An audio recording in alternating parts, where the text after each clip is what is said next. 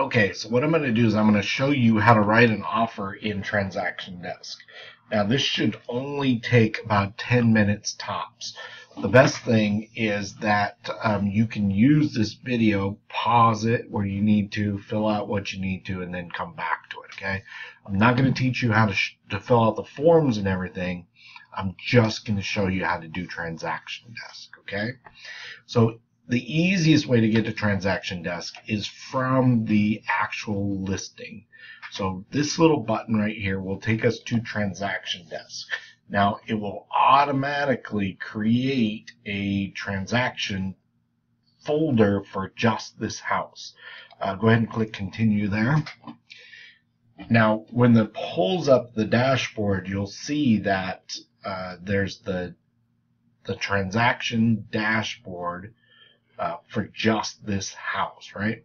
So we definitely always want to use the wizard because that's a, that's the easiest way to do it. Okay, so it pulls up this house with the address, and then it asks you if you want to use a template. Now I have templates set up, so I'm going to use my purchase and sale template. Um, it's going to import the data straight from the MLS because that is where I created this from. So I will create this folder. Okay.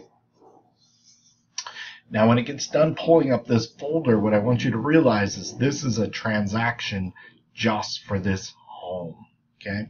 This button over here is a button for your dashboard for your entire transaction desk. We're just going to focus on this one house. All right. Now that's important because when you go to signings, if you click on the signings button while you're in this transaction, it will just pull up the documents for that one. If you do it while you're at the other dashboard, it will pull up all the transaction, ask you which one you want to go into, and then go in from there. And it's just one more step. Okay. Now, here's all the details. Verify that all the details are right. And then enter in how much you want to offer them. So let's say 400,000. Don't ever push this button. Now it's not a big deal if you push that button. Um, all it does is it takes you out of the wizard. So you only want to hit next. If for some reason you do get kicked out of the wizard, you push these three lines and then just go down the line. Okay, dashboard, details, contacts, forms, documents, signings. That's exactly what the dash the wizard is going to do for us. Okay, so if you do it, it's not a big deal. Okay, now click next. Pick your purchase date. So we're just going to pick today. Pick when it's going to expire. We're going to pick today. We can't do mutual because we don't have that yet. Okay, when it's going to close, just pick your closing date. Right, and then typically your possession is on your closing date. Okay. Now it's going to pop up with uh, my information automatically, the listing agents automatically, the sellers automatically, and our firms. What we need to do is add the buyers. So we're going to go over here and click add, create new transaction, and then buyers. Okay. So we typically only put the buyers' names in here because we don't want anybody else to have that information. So we just click buyers and then save, and then you'll see Joe Buyer you have another buyer, just click another buyer and you're on your way. Now, if you have three buyers, you have to use an additional form. Okay. Now, since I used my template, here's all my forms. These are the same forms that we use typically for every single transaction. So it's going to pop up this way for every transaction. If I want to add forms, I just click add. And then I typically go to all statewide forms because it has all the forms in there.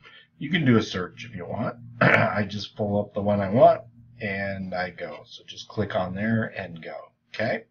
So it's a piece of cake. Now what you're going to do, you're not going to fill these out yet. You're just going to click next. Next is going to pull up the document. So these are great to have. Now this one is um, the listing agent added the 22K. So I can pull this up, see what they put on there, and they only put one thing on there. So um, I don't use these forms. I use the ones I created.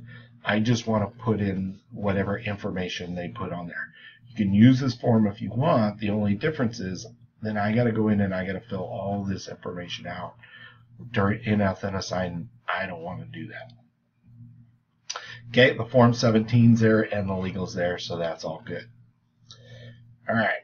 Now, this will take us to the dashboard for this transaction. I click Go to Forms, and then I start filling out the form. So I'll click on the Purchase and Sale. Now, what's really nice about this is all the information on the top is automatically filled out. The address is there, and then you can just click what you need to, add what you need to, right? Check, closing agent, forfeiture. The title insurance, what's nice about going into transaction desk is that you can go into the back, back and forth to the matrix. Okay, so I look on here, First American, okay, sounds good. So I do First AM. Now I would typically do the whole thing. I'm just doing this for illustration purposes. On closing, requested, sued by buyer is not, blah, blah, blah right? And then I'm going to list all the addendums. Okay. I didn't look to see if I needed the K. Okay, again, I'm just doing, I'm not doing this to show you how to write an offer. I'm just doing this to show you how to use transaction desk, okay? So T and then 35. All right. So now, out of habit, I always do file save, and then I do file exit. Sometimes the system gets hooked up in the exit and the autosave, and it doesn't save it, so you lost all of your um, all of your work that you just did on that form. Okay. Now let's pretend I went through and filled out all the forms. Um, now, if I want to send this to my coach, what I do is I click all, and then I click the basket, and then I email it to my coach. If I want to print it out, I can do it all as a save as PDF. I can also print it all out too. So there's a bunch of different ways to do this, right? Now, if I once I do all this and I fill out all the forms, then I'm going to click signings. Now you'll see there's none, so I'm going to add a signing. Okay, and I'm going to call it whatever. We're going to call it test one, all right? Okay, and then go to new signing. Now, since we're in this dashboard, it's going to pull up this dashboard's info. So SimulSign, okay, and then the participants. Now I want to have my client sign, I'm going to sign it, and I'm going to have my client sign it because I added the 22J um, and then click add. Now you'll see Joe Buyer came up with a little hand. That's because I didn't add his information or his email in there. So Joe Buyer at buyer.com. I really should check to see if that's somebody's address. Uh, sometimes it's a good idea to put this in there because sometimes it will kick you back if you don't. So I add those. Right now the little hand's gone. Now on the documents, it'll pull up all the documents that were in that folder. So I'm going to hit um, Format Documents. I'm going to not use their 22K, okay, seller's disclosure, and the legal description. All right, so it's going to pull up all the folders for all the files for that folder. It's going to start working on those. That was me having a drink of water. Sorry.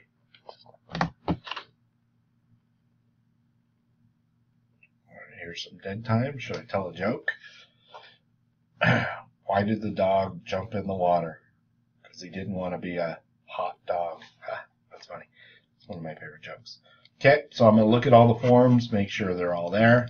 Now you'll see that um, some of these have these little marks on there. That means they are MLS forms and the signatures have already been placed on the form where they should go.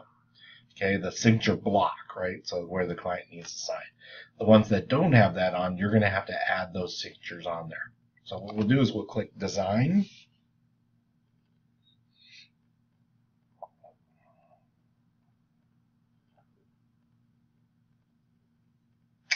And this usually doesn't take very long, and I don't have any more jokes. That's the only joke I have. So there we go. Now, this is your last chance to look at these documents before you send them off to get them signed. It's a lot easier to fix them now than it is to fix them at any other time. If you need to fix them, you click back, save and continue, and then go back and, and redo the documents if you need to, okay? So let's assume they're all good. I'm going to make sure all the signature blocks are in the right spot. Um, now, if I need to change who's signing them, I'll click over here, and then Joe Buyer is going to sign this. Um, so we just go through. Now on the 22K, remember as the listing agent, you need to sign those, and there's your signature. Okay, and then I, when I filled out the documents, I would have put in there any utilities they put on. All right, so we go all the way in. Here's the Form 17. So now Joe Buyer needs to sign the Form 17. So I'm going to put that in the first one. I do drag and drop. Here's that. I click and hold. What happened there? Okay, click and hold. All right, then I add the date. Now it auto adds the date, but I add it just to be on the safe side. Now we need to initial the legal description, right? So I drag and drop. Okay, so I'm holding the drag, I'm holding the mouse button and dragging it over there, okay? Now this is all done. This is all ready to go. I just click next. I just click next and it will ask me. Now when this box pops up, I just automatically send these invitations um, and then what I will do from a secondary source, a text or an email directly from me saying, hey, Joe Buyer, I just sent you um, an authentisign to sign. The reason why I use a separate email or text is because sometimes this that email that was sent from the system will go into their junk and they will never see it. So I always do it from two different sources. All right. Now I can click on test one and you'll see it sent me an email that says, hey, Paul, you need to sign this. When it comes in, I click it. It pulls up the two boxes. And it should do it rather quickly because I only have one signature. I'll say accept. I'll say start. Click my name, complete signing, and then I'm done with that, right?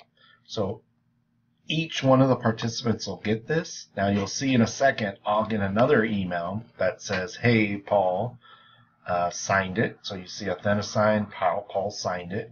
Now I can keep track of that right here. All I have to do is refresh my internet and you'll see that, um, oh, it kicked me out. Okay. Well, most of the time you can just refresh your internet and you're good to go. So any questions? That took 12 minutes, 12 minutes to complete. So describing everything. So it shouldn't take you much more than that to do the entire contract. Okay. Thank you and have a good day.